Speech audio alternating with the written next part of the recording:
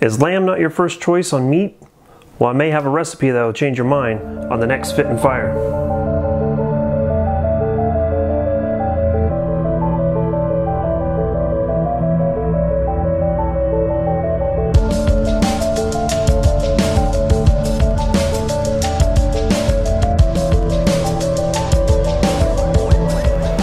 Welcome to another edition of Fit'n Fire, your channel for guns and gear and the fitness to do both. My name is Mark and I really appreciate you guys stopping by.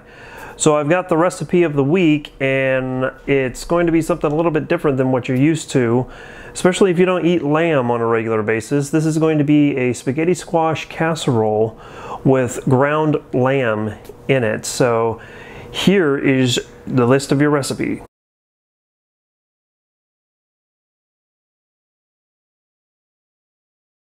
Alright, so this recipe is going to be a little bit different than what we've done in the past. Our previous recipes have been able to get prepared uh, in a very short amount of time. This one's going to run anywhere between an hour to two hours to prepare and cook. The first thing that you want to do is get into your spaghetti squash. The spaghetti squash is going to be cut in half down the length of the squash. Take each half, scoop out the seeds and all of the innards of the core, and place those face up or the insides up uh, and get avocado oil or if you'd like olive oil, either one would work, and coat the inner side of the squash with the oil. Salt it to your liking and then place those face down on a foiled cooking sheet and place that into an oven preheated at 375 degrees for 40, 45 minutes.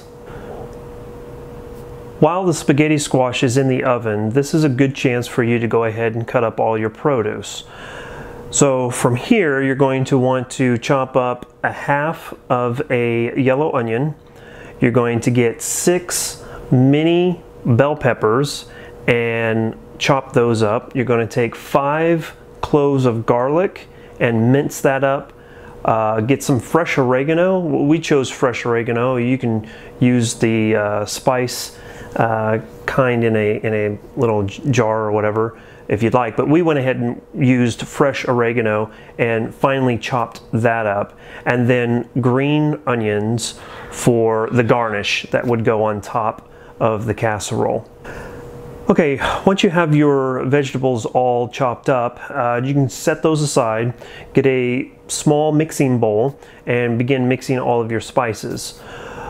Those spices are going to be one teaspoon of fresh oregano, which you've already um, mixed up, uh, a teaspoon of smoked paprika, a teaspoon of ground cumin, a teaspoon of thyme, freshly chopped. We just used what was in the little shaker a half teaspoon of Caribbean style jerk seasoning, half a teaspoon of chili powder, and then sea salt and white pepper. Go ahead and mix all those into the bowl, thoroughly mix them together, and then set that aside for a later step. Now that you have your vegetables and your spices done, let's move to the meat. Go ahead and get a medium pan and place it on medium heat. Go ahead and coat the pan with olive oil and add your chopped onion. Once the chopped onion is turned translucent, add garlic to the onion and allow those to cook together for just a couple of minutes. After a couple of minutes, add your lamb and your spices, mix all of that together and cook until the lamb is complete. Once you're done with the lamb, you should be getting to the point where the spaghetti squash should be done in the oven. You can determine that the spaghetti squash is done by being able to poke a knife through the skin of the squash. If you've gotten to that point, go ahead and remove the squash from the oven and get a large or medium mixing bowl uh, and set that to the side. Grab one half of the squash with a fork and scrape the squash into the mixing bowl, doing the same thing with the other half. So the entire squash will go into the mixing bowl. Now go ahead and add your lamb mixture and all of the remaining ingredients to include a whisk egg. Mix all of that together very well and then place that into a 9 by 11 inch pan. You're going to want your oven to be set at 350 degrees and then place the casserole into the oven for 30 to 40 minutes and allow to cook. You'll know that it's done when the top layer of the casserole has turned to a kind of golden brown, but ultimately it's going to be at your judgment. Once you're complete with that, pull it out. Take the green onion that you should still have left and place that on the top for garnish and it's ready to serve. And that's your recipe of the week. As always, tell us what you think down in the comments section below. If you like what we're doing, could always use a thumbs up. If there's a recipe that you guys would like for us to try and do a video of, feel free to hit me up either on social media or as always in the comments down below.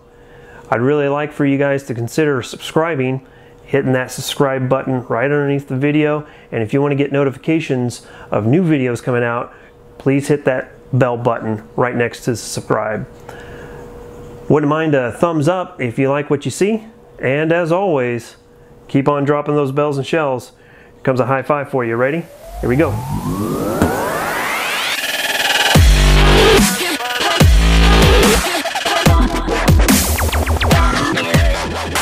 Ground lamb in it. So here is the list of your recipe. Grass tastes bad.